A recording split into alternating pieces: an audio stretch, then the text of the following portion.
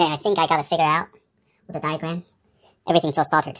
So the 12 volt, that's going to the trunk fuse box, number 37. I'm going to tap a 12 volt line here, do a disconnect here so I can unplug. And I'm gonna run a very long line of red to the LED sequential light. That's the power. So that'll be the red in there. Okay. And then the OBD plug right here will go blue, which I soldered all the way through with a connector right here. So the blue is going to go all the way back into the light. The ground is going all the way back to the light. So we got the these two wire connected right there. And then finally, there is a program wire, a white one, that I replaced with yellow. So follow the yellow line, comes through here. I do a one line trigger uh, plug in and off so I can unplug the whole dash if I needed to so I can disconnect this, this, and that. But that actually comes to a reset button right here for programming. It's a constant open circuit, I believe, or current open. Can't remember, but it's a it's an open, not a closed one. So they're always open. If you don't if you don't um, click it, it stays disconnected, and that yellow will go into ground, into a body chassis, so it will trigger the reset or uh, selection programming. I think I got it. Now I just need to rip the car interior parts off and do this. So today we're going to take apart the interior. Red light here or here. So I had to take out this bad wing, wing first. And with all the switches right here, I have to add another one. Most likely it's going to be here. I have to take this out to see where it is. Or right here. And moving on to the back.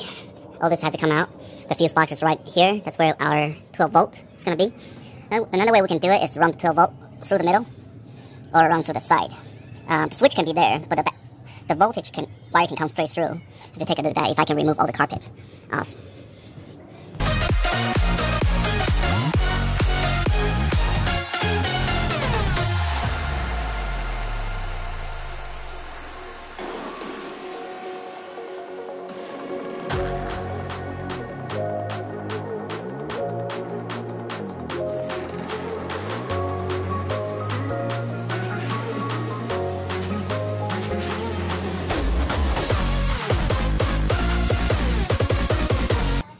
So this is the electric panel.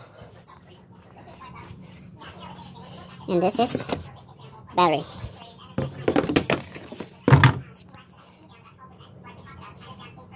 So people recommend to use number 37 from auxiliary power outlet.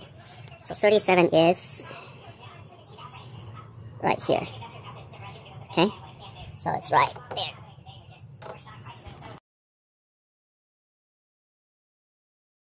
So I pulled the fuse, put on there, and the other fuse for the second line, 10 amp, so originally it's 20 amp.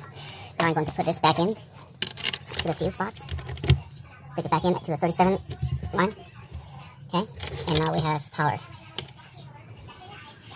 It's recommended if you use one of those tabs, so you can disconnect it when you need it. So looks like going through the middle, it's harder because I gotta have to rip the entire carpet as one piece, the footwell carpet. So what I would do is I would run the wire um, I will zip tie here, run it, see that yellow line, that's from AGX for the strobe light, not for strobe light, for the rain light. So we'll follow that wire all the way to the front footwell and get a power to there.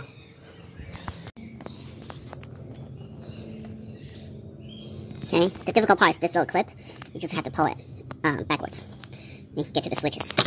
Okay. Okay, I think I have long enough wire to go through and come out this side. I need to just need to tuck underneath of this panel and then we have power.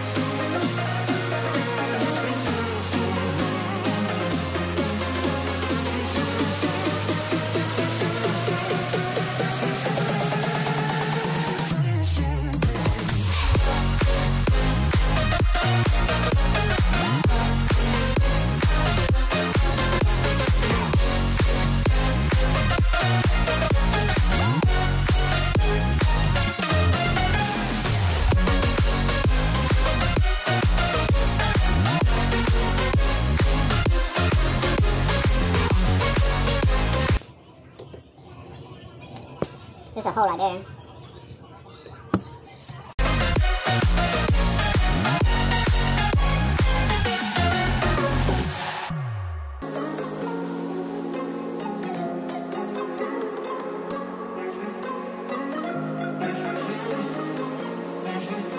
right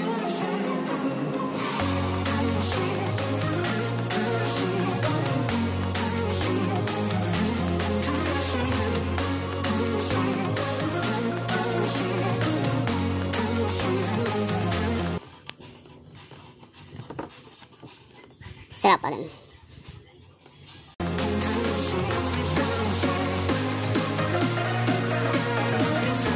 Start the engine. So cool.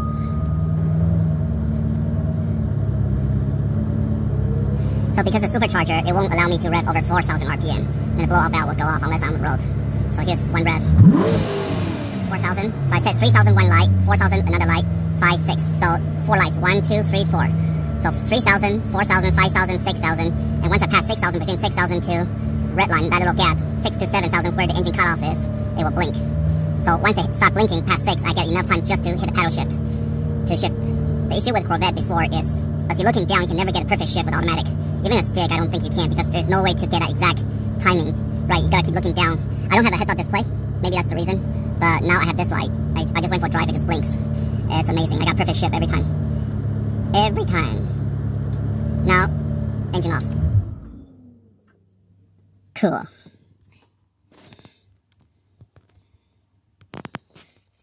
It's right between my steering wheel. This is my eye view. Basically, where the steering wheel, that little gap is, I got a light in there.